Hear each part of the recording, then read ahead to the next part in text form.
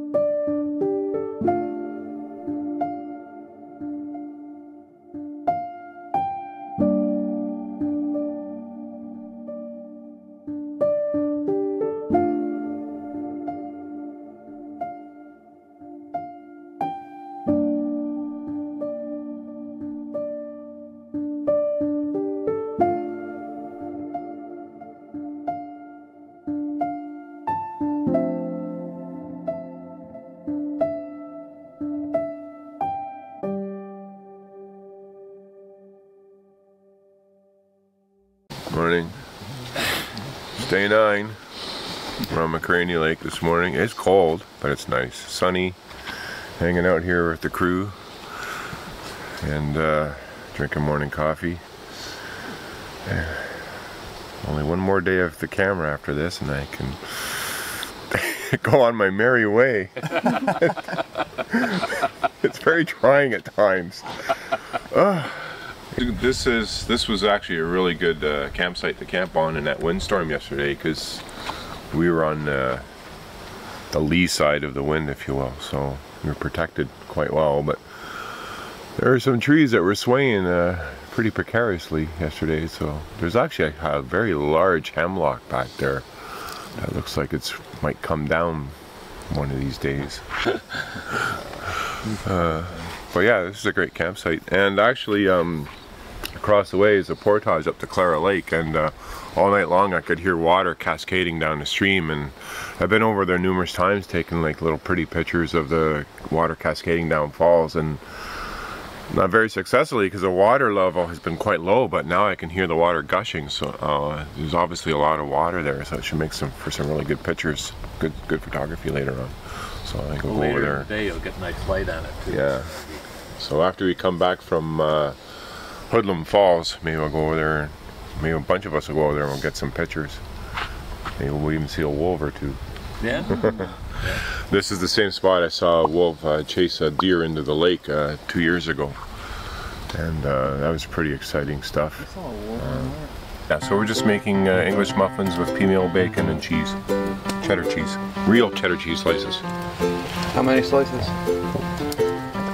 Only 11 for some reason. The package doesn't come with a dozen. I don't think they could count to 12, so they, it's 11.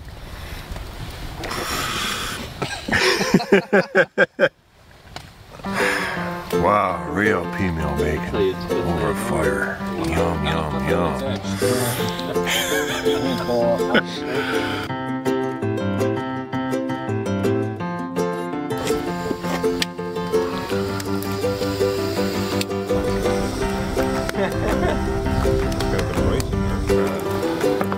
I've been really like batting around the new. Good like potties here. potty style. She's not crying. Potty style. no more. Are we there yet?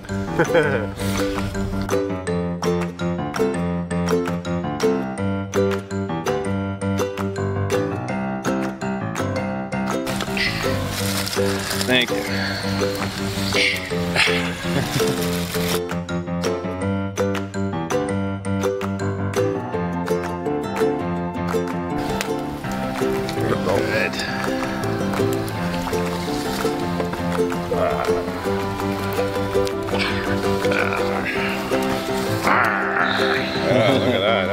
That's a meaty sandwich.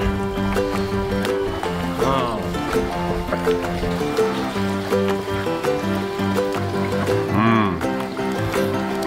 That's great. Oh my god. Oh, yum. Yum, yum, yum. Someone's having a good time. Mmm.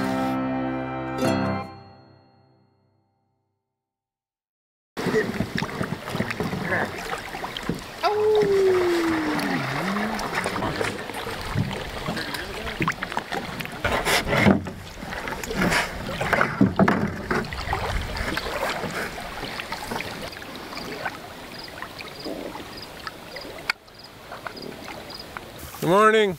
We're on McCraney. It's Saturday, day nine. And uh, we're going to retrace some of the meanest Link route that we did years ago to a place we nicknamed Hoodlum Falls on Mink Creek, which is not an official canoe route. But uh, we are going to be going to a portage that we reopened many years ago, and since then the park has vetted and signed. And uh, you'll see that shortly.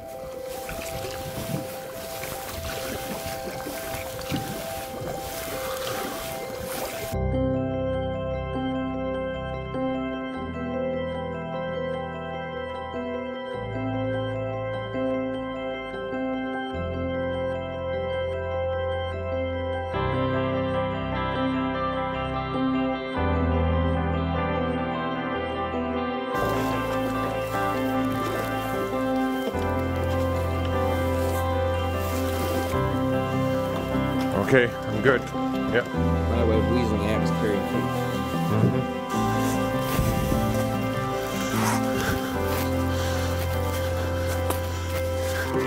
Oh, blowdown. From yesterday?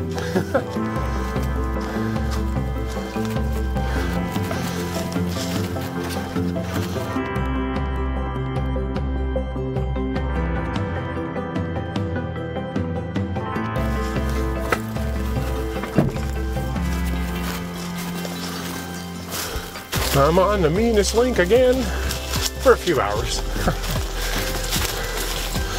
Great area of the park to be in. One around, good trail. First day of fall, right on cue. Beautiful, cool temps, warm sunshine, slow moving clouds, calm waters. Perfect setting for a, a trip through the backcountry.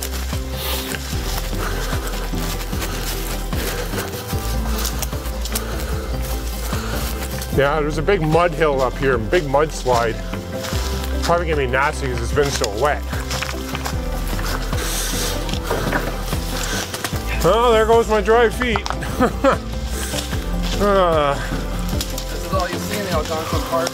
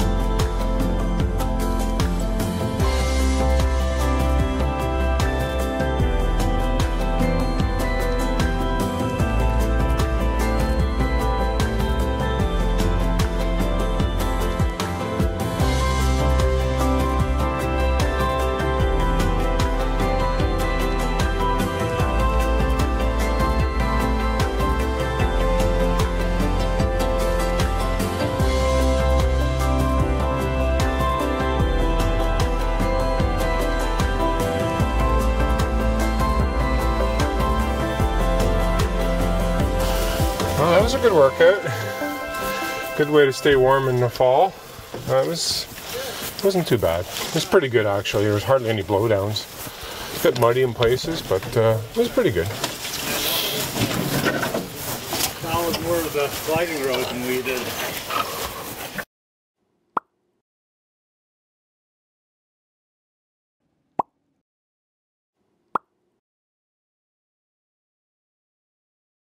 Is there a sign on? Oh, here's the sign right here. Does it say Meanest Link on it? Bear, I can't read it. It says Hood Lake. Hood. 1400. Hood Lake to McCraney Lake, 1400 meters. But it doesn't say, oh, there it says the Meanest Link up top. See? Ah, there's some of our flagging. Son of a gun. Where? Some of our original flagging right there. With pink, right in the red, and just on the other side of the tree. Oh, I'd seen one along the way. Yeah, but that had the, the, uh, black. the black in it. It was there.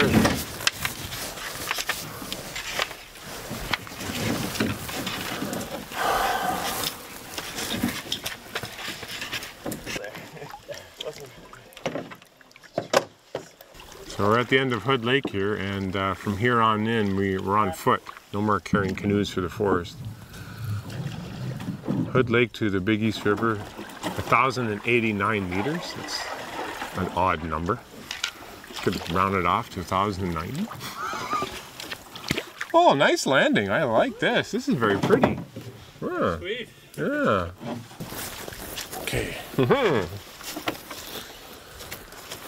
Okay. Look at that. The color's starting to come out in the hills. There's there's change happening. That's good. That's pretty. Some pictures. And they don't show up on the camera. This group of guys, uh, there were six of us. It's Mark Scarlett, John Scarlett, James Black, aka Jimmy Blackleg, Jeff McMurtry of Jeff's Maps, Scott Rogers, and myself, Mark Rubino. We wanted to do one really phenomenal uh, canoe trip through Algonquin, and so we picked the Meanest Link, which is a pretty epic canoe trip that the staff at the Algonquin Outfitters dreamed up years and years ago. Unfortunately, uh, one of the members of the group uh, passed away last year, uh, or actually the year before last. Uh, that was John Scarlett. We wanted to get together with some of the family and friends of John and uh, celebrate his life in, a in one of his uh, places that was special, that was dear to his heart, and that was Algonquin Park. There's a babe and a cradle rocked by a ghost. A rage that cut the cradle's ties. In the dead of night, a candle cursed a thorn. The weary out, a boy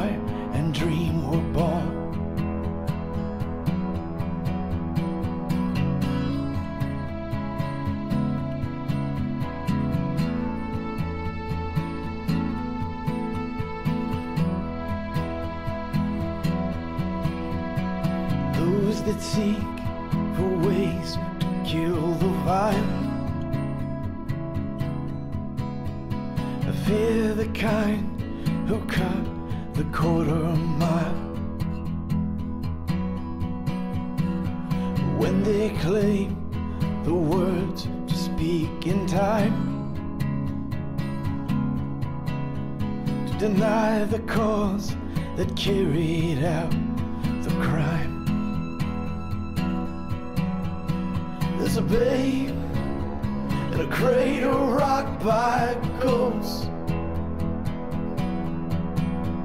with a rage that cut the cradle's ties. In the dead of night, a candle cursed a thorn. The weary out, a boy and dream were born.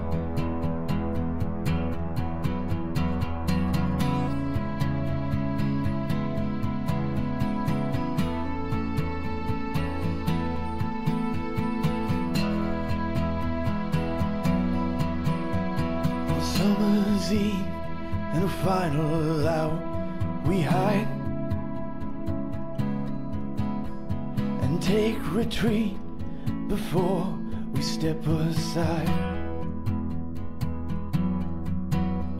For the dreams in which we one day come to find.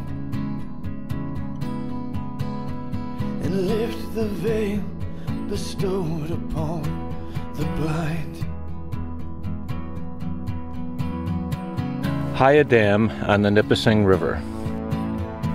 Many miles to the north of where I sit, beside our big welded steel box stove, I dream of a portage far upstream from where this small river joins the frolicking Petawawa.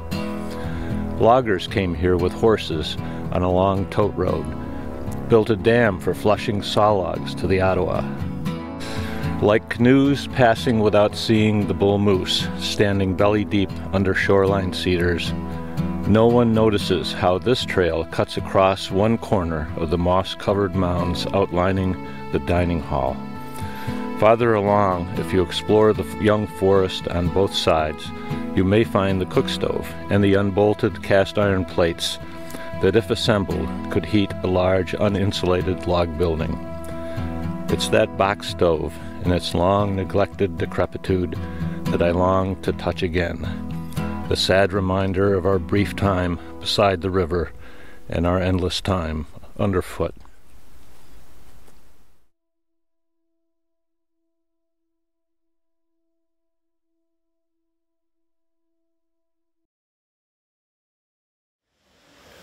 We're next to the old uh, hydro dam on McCraney here. Um, it was it's not a hydroelectric dam, it's just a hydro dam. So it was used to control water flow to provide water for dams further down. Um, I don't think it's used anymore, from what I understand. So you'd come in here at like the end of September, and they'd open up the dam, and the water levels would drop significantly on this lake.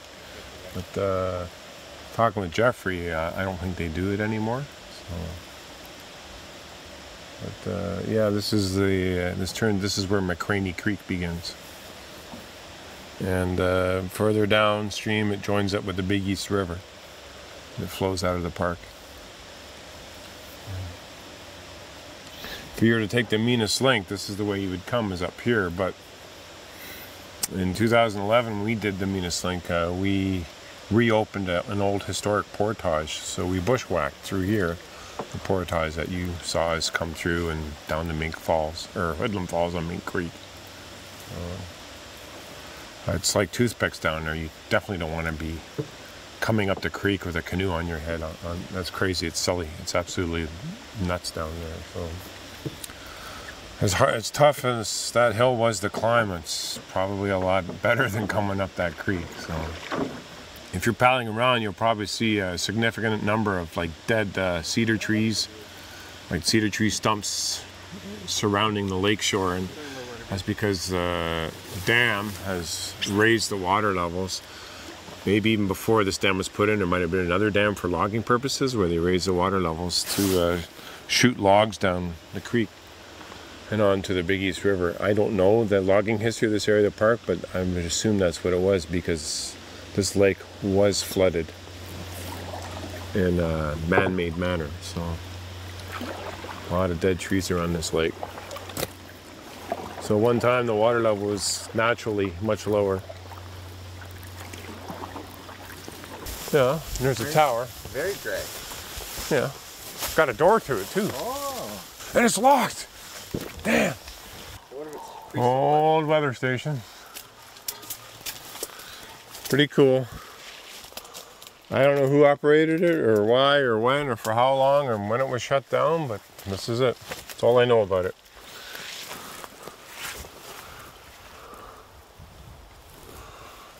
That a solar panel up there? It looks like there's one, something like that.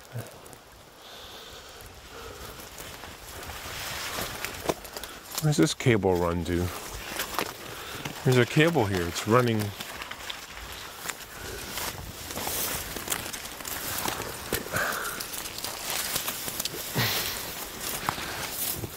Runs here. Keeps going. Keeps going. Oh, there's that runs to nowhere. Sure. Hmm.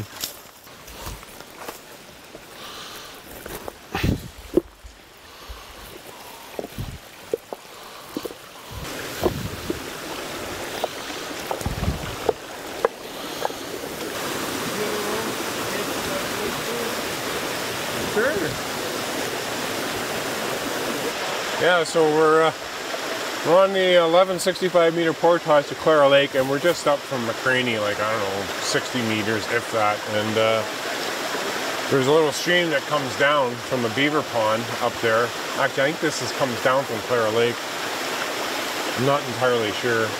Um, anyways, uh, this stream has a number of little cascading falls. It's very pretty. Um, I've never seen it this high though before, so this is nice.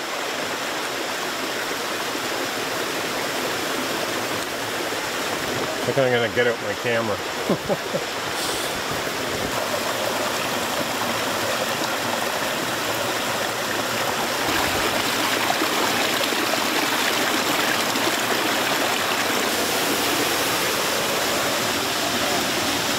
Just shooting some video.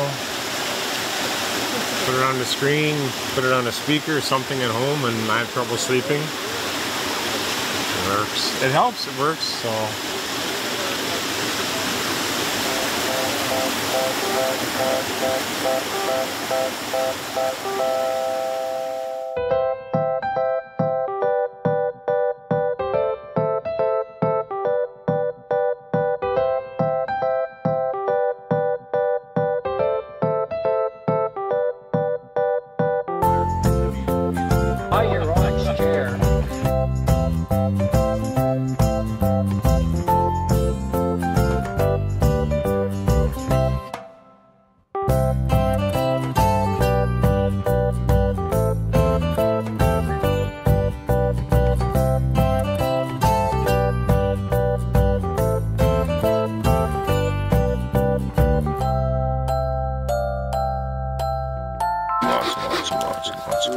That's not enough. We gotta put more on there. Yeah, that's it. It go. Roll it up.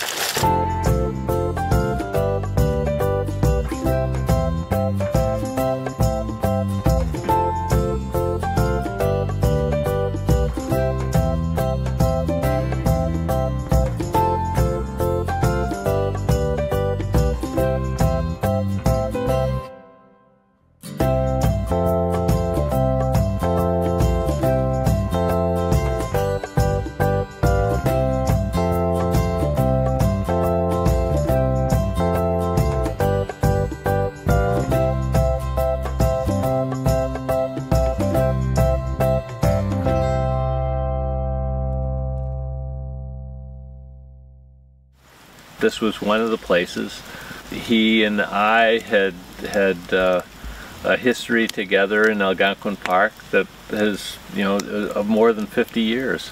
We uh, went places in the park that few people have gone. Uh, this was one of those examples, and it just seemed right to to be there with the people who enjoyed being with John and who John enjoyed being with to remember him.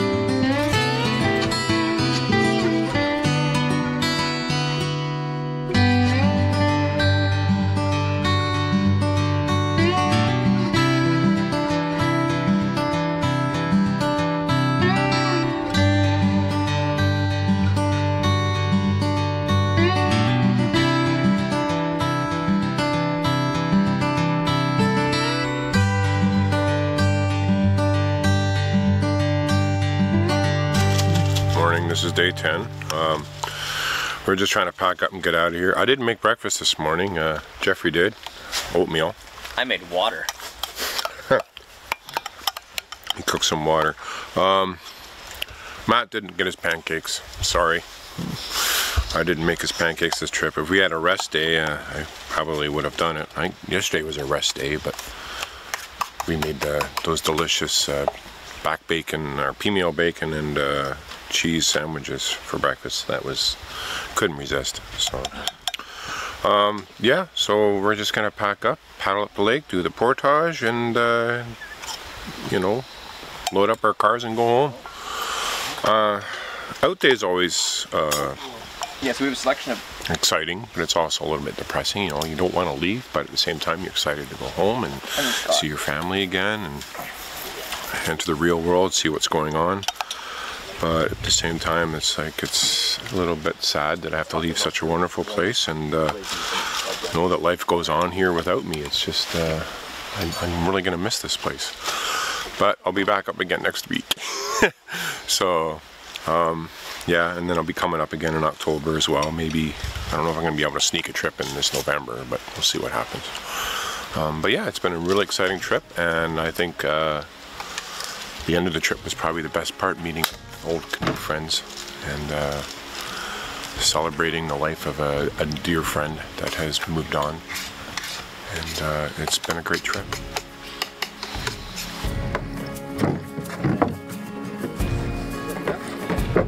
Nowhere. 18 years old, two boys on their first canoe trip. The end of another long day, they sit alone, shoulder to shoulder, on a knob of rock at the edge of camp. Girls paddle by and stop to ask them, Where have you come from? I don't know. Where are you going? Nowhere. All these years I've paddled thousands of miles since age 13. How did these two beginners get there ahead of me?